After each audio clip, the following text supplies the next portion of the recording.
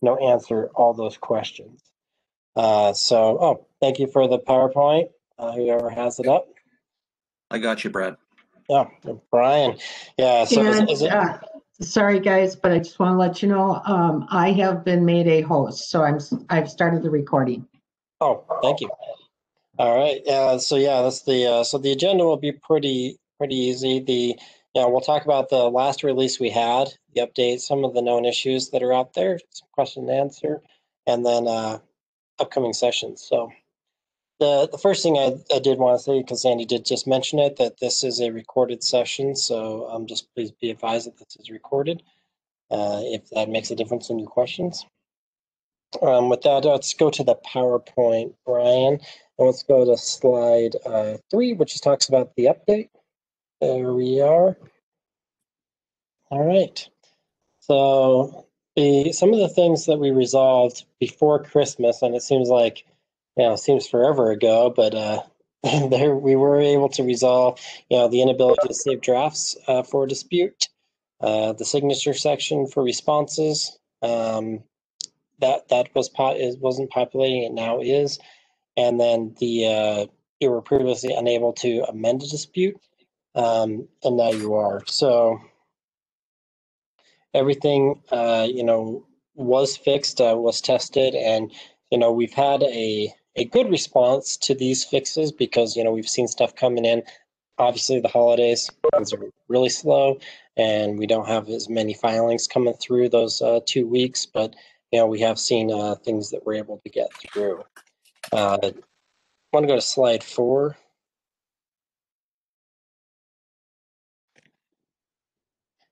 Okay. Yeah, so we have some uh, known issues on intermittent document upload failures. And we're working with some of the folks that are in the community that are having this issue. And that's, uh, Brian, yeah, we're working with people that are having that issue.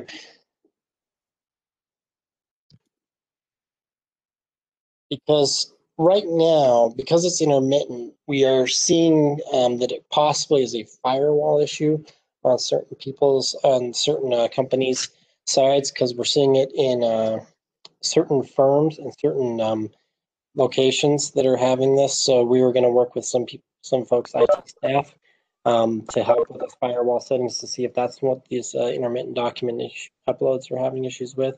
Uh, inability to upload other filings on closed cases. You know, so if a case is closed on our end and you needed to upload something, it doesn't allow that. So, you know, the case needs to be reopened for those filings. So we're working on that. And then uh, the service process designee is missing on some service lists. Uh, that's been uh, identified and something we are we are currently working on. It's slide five. All right. So here's some of the, the frequently asked questions that we that we receive, and you know, I this is why I have Brian here because he, he helps me uh, answer these questions, and I, I don't need to read them all to you. But you know, how do I uh, file a request for assistance slash response to a request? Brian, do you kind of want to take this over? Thanks, Brad. Yeah, good morning, everybody. We are we we do get a, a number of questions still coming in of people who are having uh, different kinds of difficulties with filing these requests and the response. Uh, included with that is things like the category question, which is part of the filing of a request or a response. Also, uh, questions about uh, uploading documents is included in these the generate the request or the response. Once you've done a request or a response, we've got some questions on printing those and some questions on the affidavits.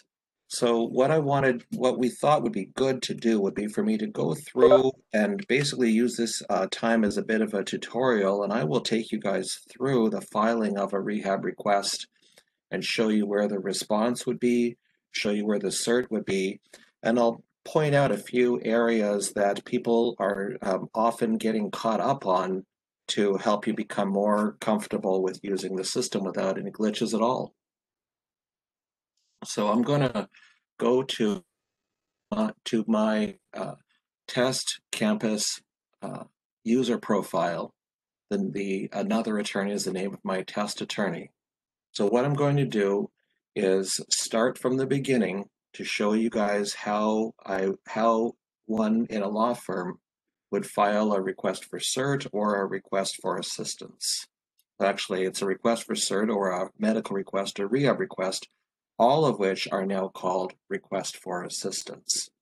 And I want to just uh, remind everybody that in the old world, we had the med request, the rehab request, those forms we all know and love. When we are creating these requests for assistance, these are going to be a generated new form that replaces the old med request and rehab request. So you will not need to do those forms anymore. Uh, sometimes people think they need to do their old med request or rehab request and then upload that through Campus. And that's not the case. We're going to be generating a request for assistance, which creates, which initiates that dispute. And any uploads you do in the process would be things like your exhibits, your IME reports, your medical records, your bills, your prescription receipts, and that kind of thing. So with that said, let's go through it. So what I'm going to do is start as if we don't know, uh, as if we don't already have the claim in our in our file or in our dashboard. We do uh, submit a filing, like you all know. We're going to go to initiate a dispute. This is if we're going to request a cert or request a med, a med conference or a rehab conference.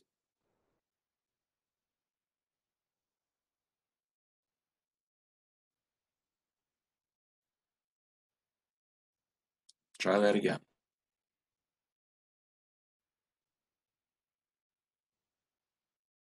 All right, what's happening here?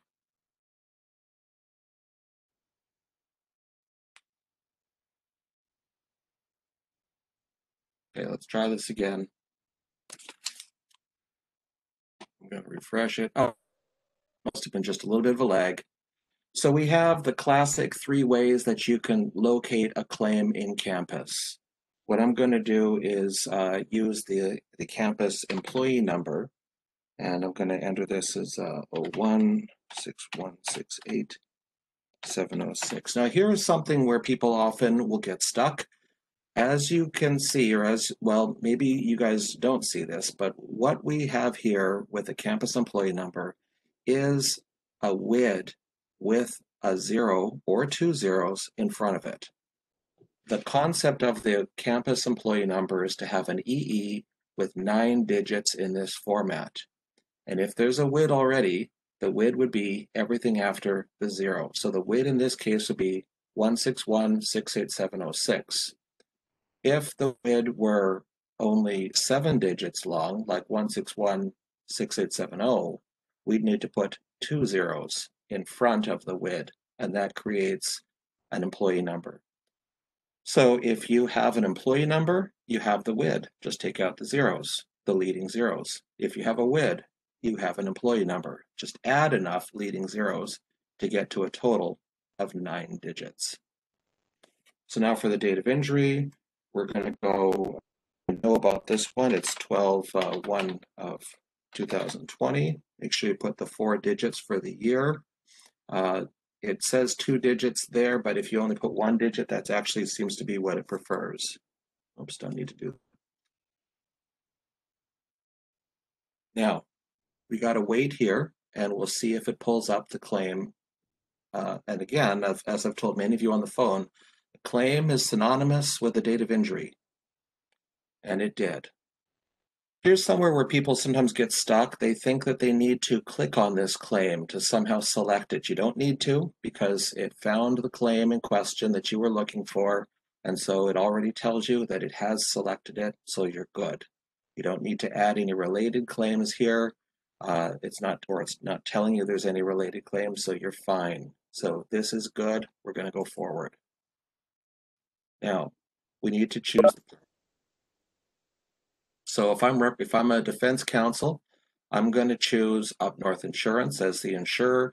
We know that defense counsel represents the employer and the insurer, but here in campus, while we're working on a change to that, it only requires you to add the employer or the insurer. You're not saying declaring that you don't represent both.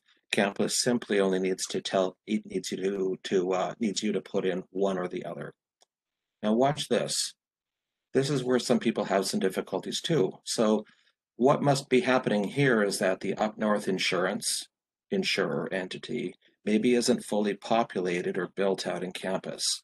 That's not a problem. We're just going to go back, and I know we employ we represent the employer also, so let's just choose the employer instead. So we're good now. If none of these parties are who I'm representing, we can click and do a manual addition. Now we need to identify the other, like it says, the other parties in the dispute. What we're doing here is building out the caption. So if you've got your Summit Orthopedics or your RTW or whoever might be a potential intervener, you don't need to add them here because this is just the caption, the primary captions. You're only looking for the primary parties. Another thing to keep in mind as we go through this is that anything that's got an asterisk on it has to be populated, has to be completed. So as you go through, when I talk to a lot of people, I'll see people sometimes miss a step. So be careful as you go through one step after another and make sure everything is completed. Uh, now, choose a dispute resolution service. What are our choices? If I wanted something to be certified, I'm going to choose certify the dispute. That's easy. If I wanted a med request or a rehab request, basically a med dispute or a rehab dispute, what I must choose is request an admin conference. And we're not saying that dispute action is rehab request because what we're already creating is a rehab request or a form formerly known as a rehab request. If you put, uh, if you just choose request no service now, just initiate the dispute, it's not going to go anywhere. So don't do that. Sometimes people say, I might, I might not want the conference because we're going to mediate. And that's fine. But if you want to go, if you want this to be processed properly, you still got to click request the conference. If you don't need the conference later because you've mediated or you want it rescheduled or reset or continued, that's perfectly fine. But you've got to pick that you're requesting the conference. So either request conference or request cert. And if you're requesting conference because it's a med request or rehab request and it hasn't been certified, that's okay. You can do a request for cert first if you don't want to spend the time to pull together more information for the full request for assistance slash med request. But if you do this as a med request and it's not been certified, our arbitrators will see that, they check for that, and they'll go through the cert process. So don't worry if you're not sure if it's been certified, you can just go forward with the requesting a conference. All right. It, like I said uh, just a minute ago, everything that's got an asterisk has to be completed. So watch for those as you go through this. I've started to see several people that see, uh, seem to have missed this question altogether. And I think it's they think that this is the title of the dispute section. So just be cautious about that. This is a question. It's got an asterisk. We got to drop down, so we got to choose meta rehab. Now, under the disputed issues, we need to add something here. I've seen some med requests or rehab requests come in where people have not added an issue and they've simply put in the narrative uh, description of their argument. Uh, that part, which, as you all know, would be on the second on the old rehab or med request, that that uh, narrative section at the top of the second page of the med request or the rehab request Everyone knows about filling that part out, and sometimes people just fill that part out and they don't actually add an issue here. And when that happens, we have a rehab or a med request that has no issues and is going to get jammed up. It won't be able to go forward. So make sure you add an issue here. There isn't an asterisk by it, but you have, excuse me about that, but you have to do it. So we're going to add an issue. So what are we looking for? Service or seeking reimbursement. These reimbursements typically are like if someone is paid for some prescriptions or they paid for some glasses, they want to get money back. So if it's something else, if it's not that, I would do a service. So we're talking service would be uh, whether it be approval for a surgery, uh, uh, approval for a wheelchair, a lift, anything like that. And we got to go through the rest of these uh, uh, fields to build out that request for assistance. So we'll say equipment here. Let's do a Hoyer lift. Um, request approval for lift. Now, here's something else that people sometimes get a little stuck on. Uh, you'll have, for many of the paralegals, you'll have the attorney that's given you uh, uh, sometimes a, a, lengthy narrative rationale for their for their uh, claim. You don't need to put that here. You will have an opportunity to put it later. This right now is just the summary of what it is you're claiming. And this corresponds to on the old med request, rehab request on the first page, where you're just identifying what it is. You'll do your rationale later. So just a summary at this point. Okay, space so far. Now, what are the supporting attachments? Like I said before, you're not going to be doing your, your own med request or rehab request and uploading that here. What you're going to want to would be like your med exhibits, your, your HCFA bills, your QRC reports, your IME, whatever it may be in a PDF format. And let's just throw this test one in there. Now, if you want to get specific with a category, you, you can take a look at these and you can add something, but these will some, the category will limit, depending on which category you pick, it'll limit the kind of types that you have. But as you can see, a category does not have an asterisk, a type does. So I think an easy way to do this is just leave the category alone. So let's just go straight to the type. You got a bunch of different choices here, but uh, if you don't see anything that is you know you're comfortable with, you can just put 106 conference. That's again what you know med requests or rehab requests lead toward, or 176.106 conference.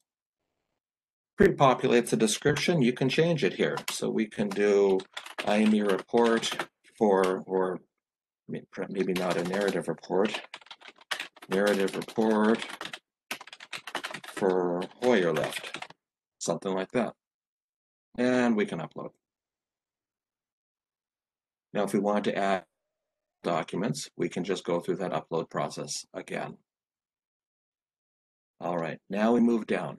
This also doesn't have an asterisk, so it's not required, but this is that for that section where many of you will remember on the top the top of the second page of the old med request or rehab request, where the attorney puts out their lengthy narrative rationale as much as they want. Here you could attach, if you want, by uploading a, a PDF document that has the attorney's rationale, or you could copy and paste it into here. And so I'm just going to put here detailed rationale. So this is what I promised you would be that second area where you can go into more detail about the claim you're making. All right, let's go to next. Sand seeing the chat now, so if anyone does want to stop me partway through, um, just let me know, of course. There aren't any questions at this point, Brian. Okay, thanks, Sandy. So we have uh, a summary of what we've done so far. We've got our, our type of dispute populated, uh, the name of the attorney, got to put the attorney ID, People sometimes get stuck here too. Some attorney IDs have a zero, some of them do not. If you're not sure, feel check with the attorney. If you're still not sure, feel free to call us because we have a database, as you can imagine, of all the external users of campus. It's very easy for us to just go check and see what the attorney ID is for that particular attorney. And you're going to be going through this, by the way, whether you're logged in as the attorney or as the legal support staff. This will be your the only difference if you're legal support staff is that there will be a question asking you, are you filed on behalf of? And that will, and but because I'm in the attorney login right now, it's not going to come up there. So now we're down to the name.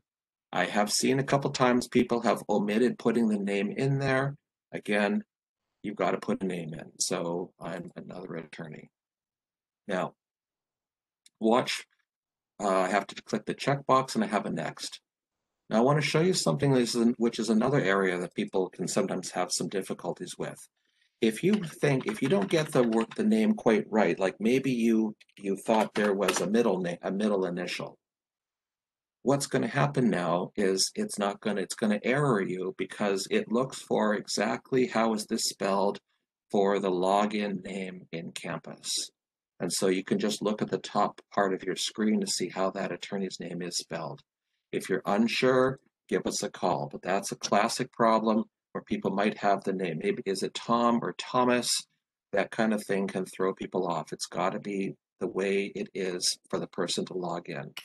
I'm going to take that out. Here's another problem that people will sometimes run into.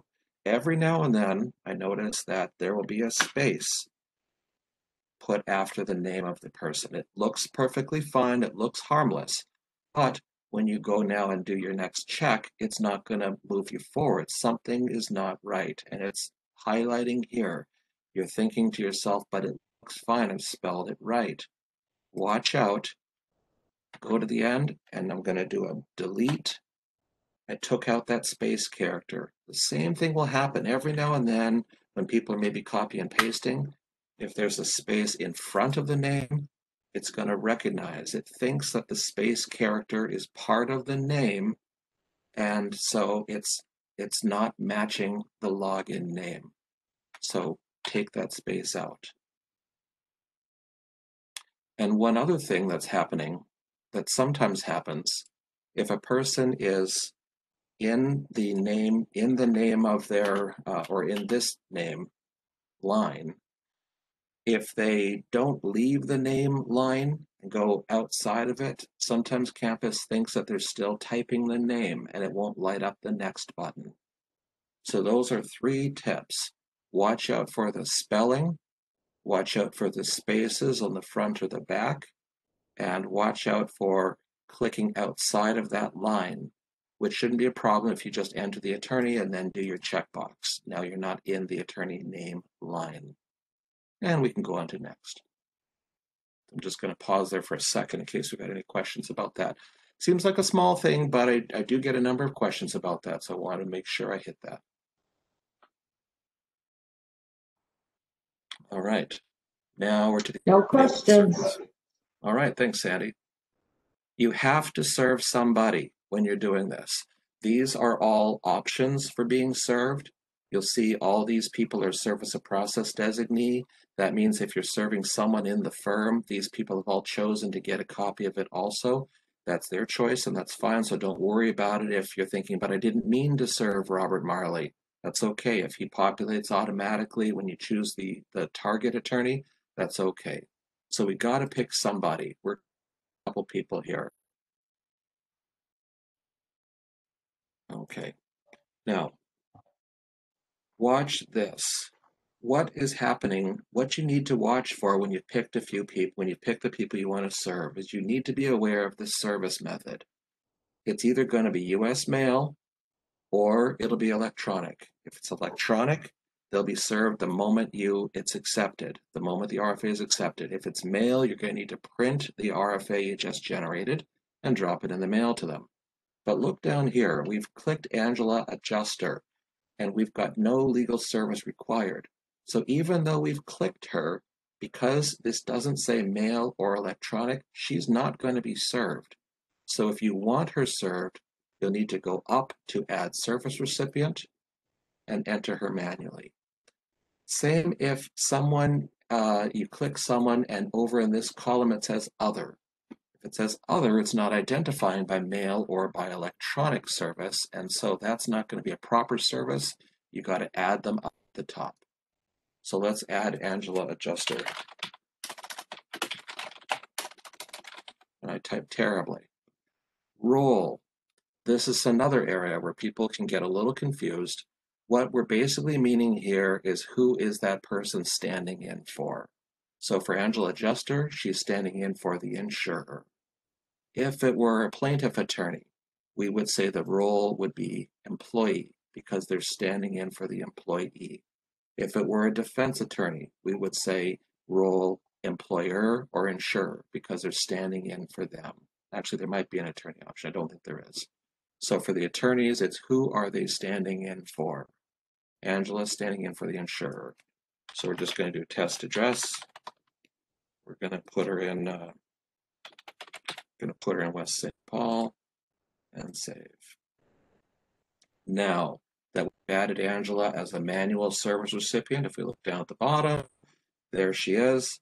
And as we wanted, we have her plan to be served by US mail. Because we've done, we've got her there, we can just unclick here so she's not going to appear twice on the same affidavit, affidavit of service. All right. So we've got everybody on here. Everyone, I'm checking just to make sure that everyone's being served. Uh, electronic, electronic, electronic, and mail. So everybody's good. Now, little declaration. Name of signatory. This now is the person who is filing the document, the person who is logged in right now. So if I'm a paralegal, I still got to put my name. So I'm going to put another attorney because that's my name. I'm going to click here and so it's not it's not giving me any trouble, which is just fine. I'm not going to put that space. You know, I'll just show you again what happens if you put that space. So there, it looks like I'm right, but what had happened is somehow I slipped a space character in. So I'm gonna take that out. And there, now we're good. Now, look at this. This is the thing I was trying to replicate before. Everything looks fine. I've got the declarations, I've got the attorney, there's no space, but there's no submit form button. This is what I was saying again a couple minutes ago, where campus sometimes thinks that because I'm still here, I haven't completed entering out, filling out this box. So if I'm done, all I need to do is click out of it. Simple as that. So be aware these little things uh, uh, can can throw you off, but there's some there's some simple solutions for them. And so now everything's done. I've got my attachments done. It.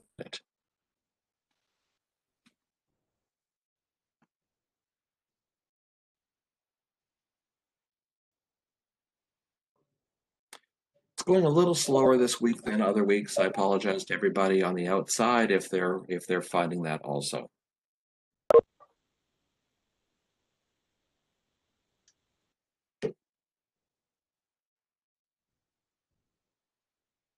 Sandy, how we doing on any questions coming in on the chat?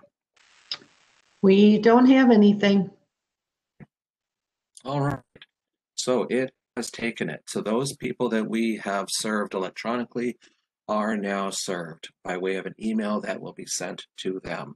We can now look at the dispute, which we now created by filing this request for assistance, or we can look at the document which we created just now. And this dispute will now be in our dashboard under My Disputes. If we want to look at this, and we're going to need to look at this because there's a few people that need to have a mail service, here's another tip. Usually we're all used to, and until three months ago I was used to this too, doing a left click, and that's going to replace this entire screen with the document. Instead, we're going to do a right click, and we're going to open in a new tab, and that will then leave this screen here, it'll just add another screen. So when I click this, I want you guys all to watch up here for those of you who don't already know how to do it, and we're gonna create a new tab. And you can see it up here, it's creating.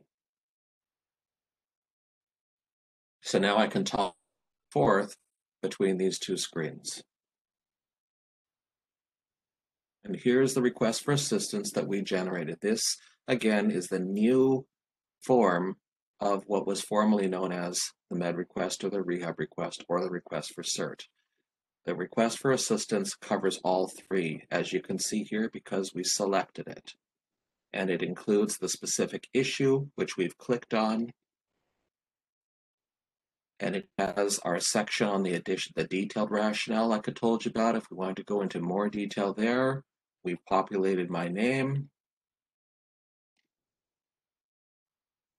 And if we move further down, we can see the affidavit that got automatically generated. You don't need to make your own affidavit. This says who are who they are sending, uh, who we're serving by mail, pausing a copy in the, a copy in the mail. It's going to be December 15, A few of these people are going to be by mail and electronically. Who are we serving electronically? Well, a better way to say it would be who has already been served electronically. We just need to watch for this list here and then print out this document, the whole document, and drop those in the mail to people. A way to do that, and now I'm going down a little further. And what we can see down here is uh, this test attachment. This is my attachment that I uploaded. So you're going to want to print this also. And this is an address label. And this is basically an eight and a half by 11 uh, blank sheet of paper with the addresses of the people you're serving by mail that you can use to put in a win window envelope if you guys, you, if anyone uses that. So remember, this can be used if you want to, and this will be needed to be included. But getting back to our primary goal here, which was to print this thing so that we can drop in the mail to those several people that we're going to serve by mail, what we want to do is rather than do a, print screen or anything like that, which will show the right tap sidebar, we're going to go to this download button. Now, when we open it, this is, again, the request for assistance that we just created, and it's all, it's in a nice format for able to print it or save it to our own drives at our offices or wherever we're these days. So I am going to get out of this now. I don't know how to do that. Hmm. Well, stopped up here with everything at the taskbar of the Teams chat, but I'm just going to ignore that. So I'm going to go back to the, this is again the document, and this is the completion screen. These things were preserved because again, I did a right click. And if I wanted to go into the dispute, I could right click there also.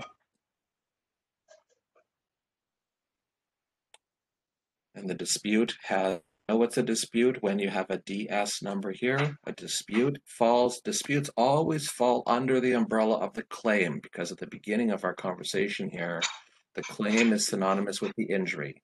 And if you got a dispute, a med request, a rehab request, a request for cert, those all fall under an injury. So we are in a specific litigated issue under that injury. And what we do is go into the documents and we can the request for assistance that I just made, and we could go into it for here also. One other thing here is that uh, you might need to amend your dispute sometimes, or you might need to add some additional attachments, some exhibits. Like if you're the paralegal, maybe the day before the conference, you're going to want to send the exhibits to the arbitrator. And the way to do that would be to go into this dispute and you'll be able to get to it because you can it's now in your disputes tab on your dashboard. Go to the submit filing button, drop down, and if you want to submit something else for, the, for us to see, go into other filing. Filing is something you're going to be using quite a bit. And this is basically a free form opportunity for you to upload anything else you think we want to see. Maybe it'll be an additional piece of uh, additional medical record. Maybe it'll be another bill. Uh, could be uh, intervention notice that you've sent out and served on someone. Could be anything that could be anything that you think we need to see. You can upload it here, and it will get and it'll get into the file.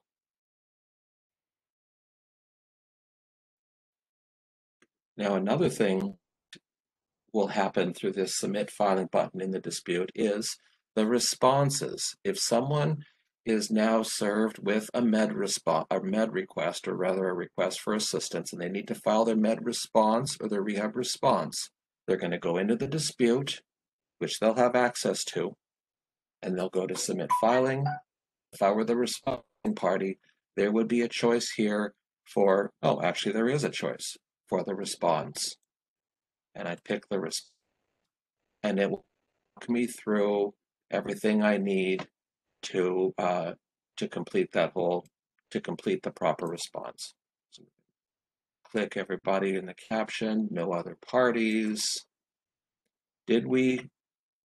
Here's something that you guys, I should tell you about too. Did you exhaust the re- dispute resolution process for managed care? Everybody knows that managed certified managed care plans are becoming few and far between. But nevertheless, we have a question for whether it's exhausted, and we, if it is, if there is none, you have to say yes, it's exhausted, because yes is our replacement for NA. If you say no, then campus will think that there is a managed care dispute resolution process that you need to do, and it's going to start to grill you on what need, on information about that. So if there is none, say yes. You're done when you had to do. And it will give you now an opportunity to add whatever information you need for your um, response. One other thing I'm going to show you the dispute. Sometimes you need to amend your medical request, the request for assistance, and you could do that in, in button two. Amend dispute. So if you're going to be doing it, if you need to add a new party, if you need to add a new issue, all that can be done through this button right here. And remember, other filing is your catch-all for anything else that you want to send to us on that dispute. Maybe it's an intervention notice, maybe it's an objection to an intervention. Whatever it might be, you can send it through other filing. And I think that uh, wraps up my overview that I want to show everyone for the submitting of disputes. I'm going to go back to the PowerPoint now and see if we missed anything. So we've talked about uh, requests and response. Talked about cert because you could have clicked request cert. Talked about the category and just use the document type. We've talked about uploading the documents, downloading and printing.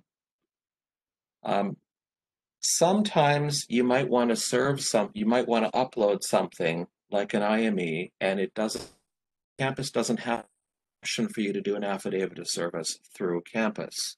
If that happens, you can just do your own affidavit of service and you can upload that affidavit of service into campus just like you would have uploaded an intervention notice you sent out to a provider. The last thing, so that that all was covered in this little demo I did. The last question I wanted to hit for everybody is the question about how do I file information if I can't find the claim? Finding the claim, if you're trying to file a dispute or you're trying to uh, file a, or send in a notice of appearance and notice of rep, can be, uh, it, it has to be precise. So if you have, for example, the uh, a digit off in the WID, which I see, or a digit off in the social, or a letter off in the name of the injured worker, it's not gonna it's not gonna tell you is it is it this instead. It's not gonna give you a close enough. It's gonna say no.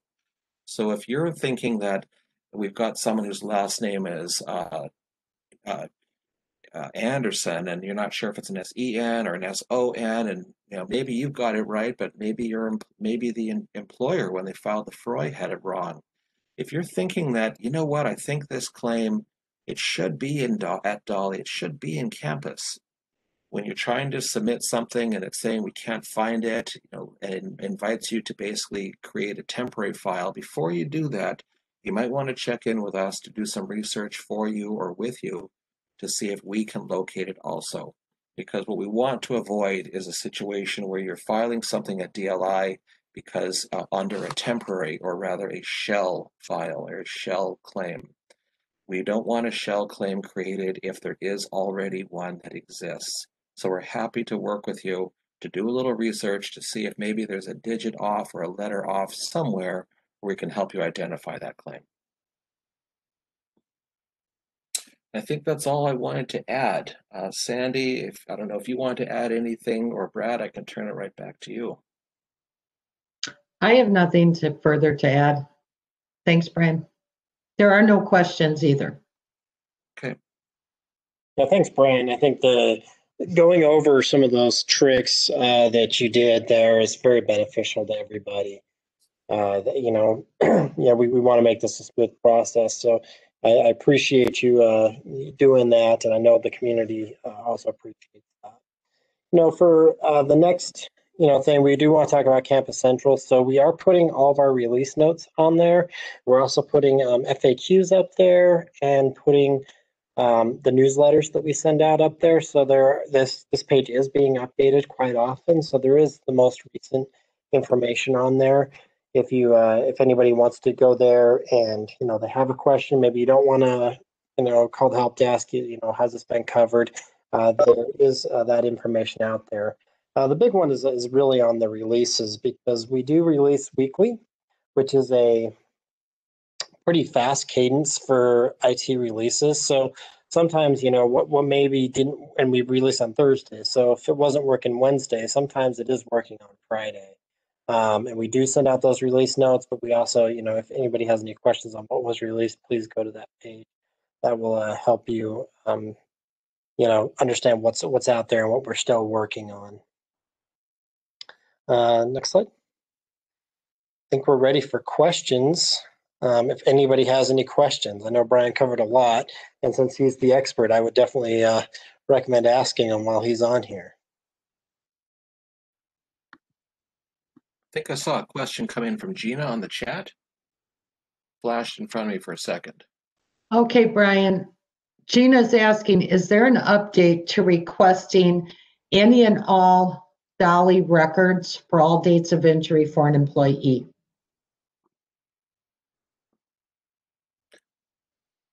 My understanding is that there was going to be some development on being able to do uh, a multiple request to uh, to um, to the records department. Uh, am I wrong on that, Brad? Do you recall? There's no current development on that. I know that there's uh, there's been talks of it, but we have not um, initiated any of that. The you know the current process we have is is outlined in the on the in the campus page as far as the how to do it any and all, uh, where it does take our department our staff to uh, go through there and, and actually identify those records. Okay, so we'll be able to identify which injuries uh, you which injuries we have, and then you can do your request for those individual injuries. Yeah, I believe so. Yeah, and I and I don't want to speak out turn. I know Richard and CRT worked on that, but I believe that is is is out there and that, that process is outlined on Campus Central.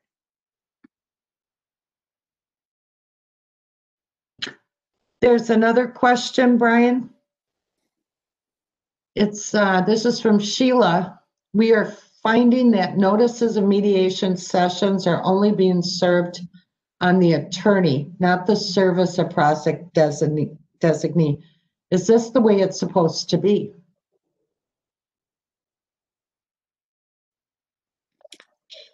That does not sound familiar to me. I would have thought that uh, if an attorney has sent something, the service of process designee at their firm would also be getting it. So They, I would they, think they that's- should be, they should be, Brian. They should be. Brad, Okay. To cut you off, A- and on, on our known issues, I, uh, I had brought that up there, there in some instances, they're not pulling in that service process, and we're currently working on that to make sure that that is. Oh, yeah, right. I think you mentioned that earlier, even in this meeting, Brad. Sorry about that. Thanks.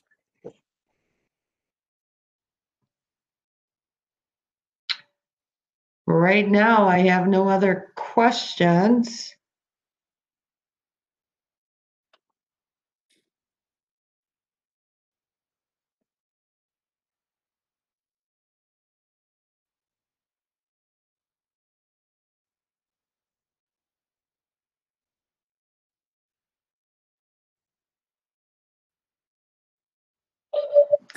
You did such a good job, Brian.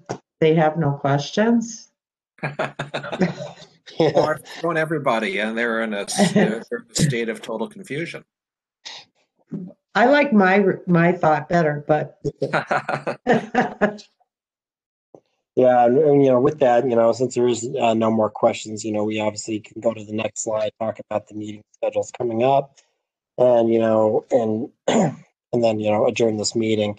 So right now, we we only have uh, next week planned out as far as you know meetings uh, for answer hours, and then we're going to start to work on a on a cadence for the future um, upcoming, so that we're able to. Uh, you know, to meet the needs of, of obviously all the stakeholders, and then um, give ourselves some time to um, start working on some of these uh, these things that are coming up as new requests, so that we're able to identify them and quantify them. So you'll be seeing a lot more communication coming out in the weekly communication on this. Uh, this week's communication um, will have some, or not this week, next week's communication will have a survey on some, uh, you know, s- that we want the community to to weigh in on, and we will, uh, you know, kind of go from there. So with that, those are all my updates and everything I have. If there's nothing else, then we will uh, we can adjourn. There are no other questions in the chat. All right, well, thank you, everybody. Thank you. Bye, everybody.